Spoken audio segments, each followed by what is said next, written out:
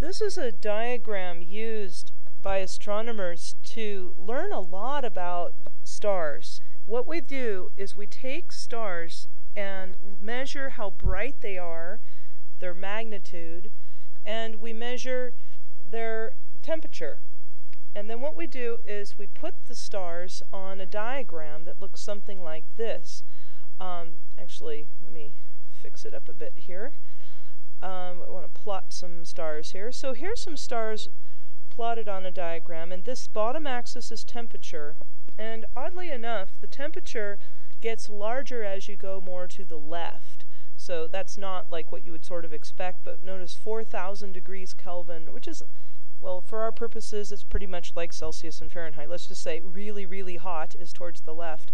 And hot, but for a star on the cooler side, is on the right. So temperature increases to the left, brightness increases going up the diagram as well, and um, we can see that, uh, I thought there was a way to plot this, okay, um, with magnitude. So remember magnitude gets brighter the more negative it is.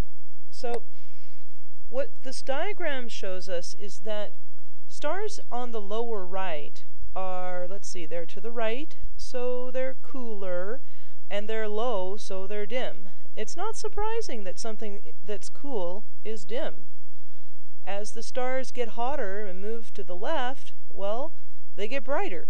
And so that's sort of a logical thing you would expect, and that's true for most stars. 90% of stars spend their 90 uh, like 90% of their lifetime on this main sequence. It's called a main sequence of stars. This is not a map of what you would see if you looked into the sky, okay? So this is not a picture of the Milky Way galaxy or anything. You will not see star constellations. These are not constellations like this. This is measuring just the brightness of a star, the vertical axis, and the temperature, and then plotting it on a diagram, like a math graph. So our sun is a main sequence yellow star right in here, and um, it will live its life, and then eventually it will be, go into a phase where it would be up in this region of the diagram. So as our sun itself gets cooler, here's on the left it's getting cooler, I hope. Um, towards the end of its life, it will enter a phase where it gets brighter, yet cool. And so here, if you've noticed, it's moved out over into this section. This is where the red giants live. And this is the red giant section here.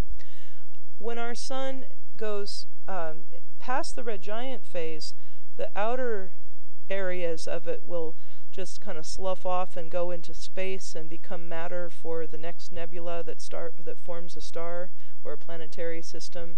But the center of it will just be uh, remaining. It'll be remaining and it'll be still pretty hot. Um, now the center of it would be hot, so it would be towards the left. But the center of our sun, once it's all done burning its fuel, it's not going to have any fuel really. Small. So because it's small, but still pretty hot, it's called a white dwarf. It glows. Um, it's not too bright relatively to a burning star, a star that's actually fusing hydrogen and hydrogen into helium, but the core will be still luminous enough to be a little bit bright there, so it's called a white dwarf. So these are the phases of, they're actually called luminosity classes of stars. Everything on this band is called a main sequence. The uh, blue supergiants are up here. These are massive stars, stars that just started out with a whole lot of mass. And so they're very bright, like this one on the left, very bright and very, very hot. So here they would be blue supergiant, very bright and very hot. If you look at this sun compared to our star, our sun, if sorry, if you look at this star compared to our sun. Um, now let's dim this down. If you dim down the luminosity, it goes down into the white dwarf area.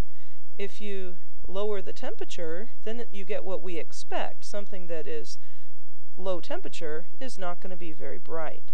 So this is just an overview of something called the HR diagram, and it's in your textbook in chapter 15, well worth studying and pondering. There's a lot to learn here. Thanks for listening.